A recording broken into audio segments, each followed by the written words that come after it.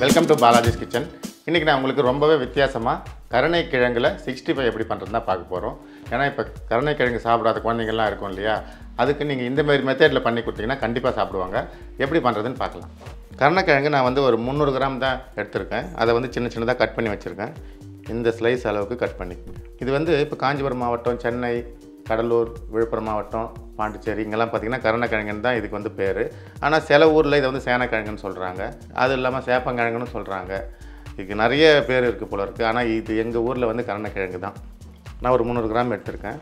உப்பு வந்து தேவையான அளவு பயன்படுத்த போகிறோம் இது வந்து சிக்ஸ்டி ஃபைவ் மசாலா இது. இது ஒரு ரெண்டு ஸ்பூன் பயன்படுத்த போகிறோம் ரெண்டு ஸ்பூன் கார்ன்ஃப்ளவர் பவுடர் பயன்படுத்த போகிறோம் ஒரு அரை ஸ்பூன் இஞ்சி பூண்டு பேஸ்ட்டு கொஞ்சமாக கருவேப்பிலை.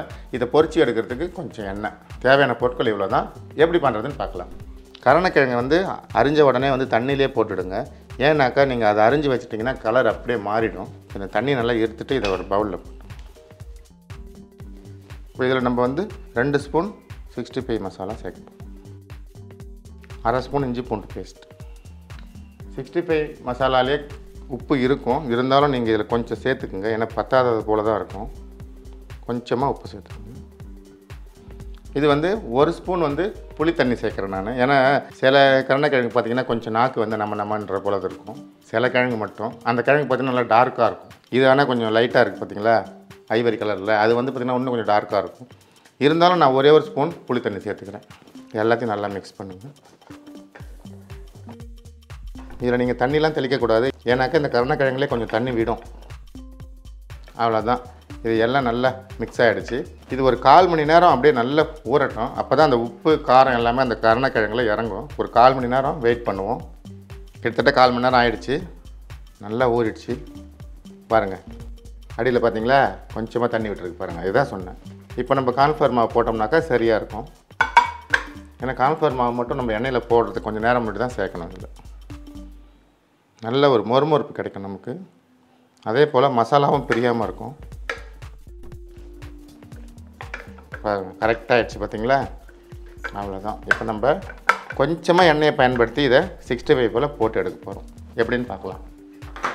ஸ்டவ் பற்ற வச்சு ஒரு பேன் வச்சுக்கோங்க. இதுக்கு வந்து எண்ணெய் அதிகமாக தேவைப்படாது. கொஞ்சம் எண்ணெய் போ இதுக்கு வந்து எண்ணெய் வந்து ரொம்பலாம் காய தேவையில்ல. ஒரு எழுபது பர்சன்ட் காய்ஞ்சால் போதும். இப்போ நம்ம மிக்ஸ் பண்ணி வச்சுருக்குறோம் இல்லையா அதை? ஒன்று ஒன்றா இந்த டைப்பில் கருணக்கிழங்கு பிடிக்காதுன்னு யாருமே சொல்ல மாட்டாங்க. அப்படியே சிக்கன் போடுறது போலே ஒன்று ஒன்றா போட்டுக்கோங்க.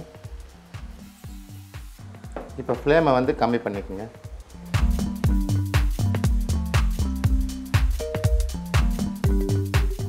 மீடியம் ஃப்ளேம் வச்சுக்கோங்க சரியாக இருக்கும். இது போலலாம் எடுத்து நீங்கள் பண்ணாதீங்க.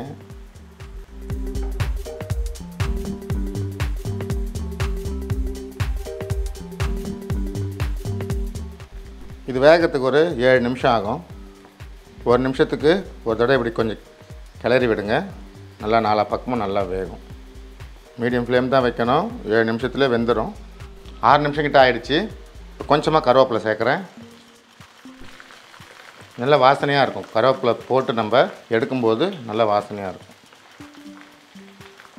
அவ்வளோதான் ஓகே ரெடி ஆகிடுச்சி சூப்பரான கருணைக்கிழங்கு சிக்ஸ்டி ஃபைவ் இது போல் வித்தியாசமாக செய்து கொடுங்க. அப்போ தான் வீட்டில் இருக்கிறவங்க உங்களை எப்போவுமே பாராட்டிக்கிட்டே இருப்பாங்க.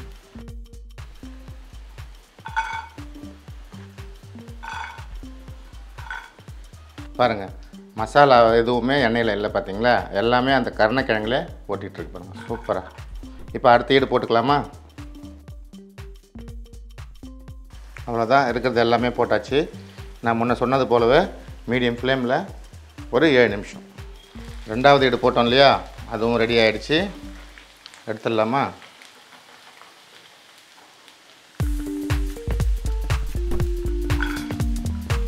நல்லா எண்ணெய் இப்படி இருத்துட்டு எடுங்க. கொஞ்சமாச்சும் எண்ணெய் நல்லா இருத்துட்டு